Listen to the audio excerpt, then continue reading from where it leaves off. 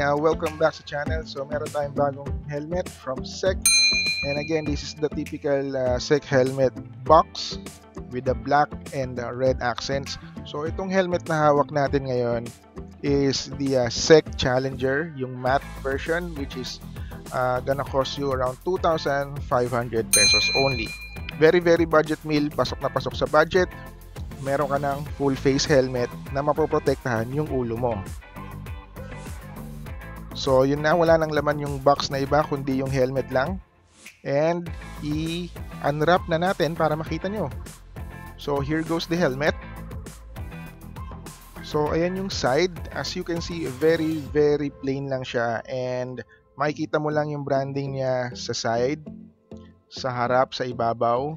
And, ayan yung visor. As you can see, masisilip mo, meron siyang sun visor or yung secondary visor sa loob. Ayan din yung sticker or yung branding sa gilid, SEC. And then sa likod, meron ding uh, SEC na branding. And ayun sa baba, yung size niya. And then yung approval from DOT and our beloved ICC sticker. So sa taas makikita niyo yung air intake. So diyan papasok yung cool air para mahanginan yung loob ng ulo mo.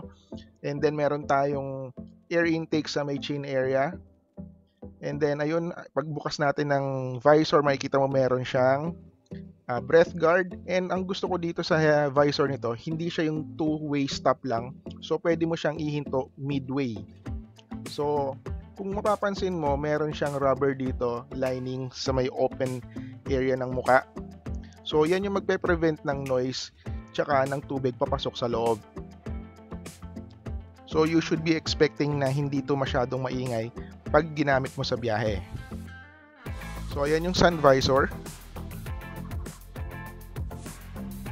Tanggalin na natin yung sticker para makita natin kung gaano kalinaw and gaano kalapad yung visor. So yung mechanism ng sun visor nasa gilid, i-drop natin and tanggalin na rin natin yung sticker. So ayan yung itsura niya pagka tinanggal mo na yung stickers. So sa ibaba meron tayong makikitang chin curtain. Also nakakatulong to para mabawasan yung wind noise sa biyahe. Ayan yung stickers na kasama pati yung user manual. Tapos yung strap niya adjustable and ayun yung uh, sabitan ng helmet sa motor. And hindi siya naka double D strap, naka easy retention strap lang siya. So for the pads, malambot siya, madali siyang mag-fit sa mukha mo pag suot mo. Unlike sa ibang helmet na pag sinuot mo, sobrang tigas. Pero ito malambot, so shoot agad sa mukha mo. And also, yung lining sa loob, yung pads, yung cheek pads, yung inner lining, lahat sila removable. Basta tanggalin mo lang properly and pag binalik mo siya, make sure na magtatapat-tapat lahat ng red buttons para bumalik yung fit madali naman tanggalin yung mga pads and inner linings. Uh, sa umpisa lang kayo mahihirapan syempre kasi bago. Pero as you go along, makakasanayan mo rin sila and madadalian ka nang tanggalin sila. Lalo na kung medyo maselan ka or meron kang mga nilalagay sa muka. Best is to wash them every week. Ayan, and then para hindi ma-irritate, maalagaan mo rin yung sarili mo. Right? So ayan, madaling madali lang sila tanggalin.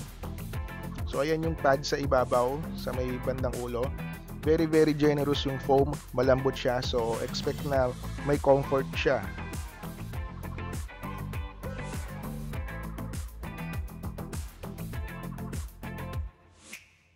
Napakasimple ng helmet na to. Poging pogi lalo na kung iteterno nyo sa motor nyo na kulay black. Lalong gagwapo. At at the same time safe pa yung ulo ninyo sa aksidente if ever na magkakaroon. So for comparison, medyo napansin ko na may similarity siya sa design ng K3SB. So ito, isa side by side natin. So actually hindi naman sila totally ginaya. So yung Falcon design ng chin area niya, yung sa may shoulder area, makikita mo yung hulma, may similarity. Pero yung differences nila sa chin, yung sa air intake sa may chin area, malaki difference kasi yung mechanism ng sa AEGB is nasa loob meron siyang spoiler sa likod, and yung air intake niya sa ibabaw is magkaiba ng design. Alright? So, para kanino nga ba tong helmet na to? So, tong helmet na to ay para sa mga riders natin, mga kapatid natin sa gulong na naghahanap ng simpleng helmet na affordable na makakapagligtas sa ulo mo if ever na magkakaroon ng aksidente. So, kung kailangan nyo ng helmet, punta lang kayo sa Sectondo, hanapin nyo siya Sam, and check nyo na lang yung availability and yung ibang designs nila. For online transactions, meron tayong Safe Nuts, puntahan nyo lang yung Facebook page natin. And again, this is Tantan Santiago. Thank you so much for watching. Always stay dry and ride safe. Bye-bye.